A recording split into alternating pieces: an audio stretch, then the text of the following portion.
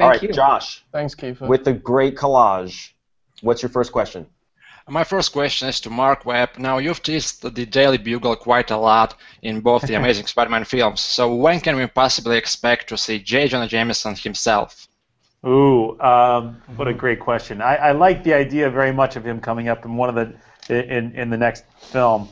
It's really hard to um, to introduce someone when it's actually it was it was it, it was more easy to accept a new Spider-Man than somebody who uh, can outdo you know J.K. Simmons in that role.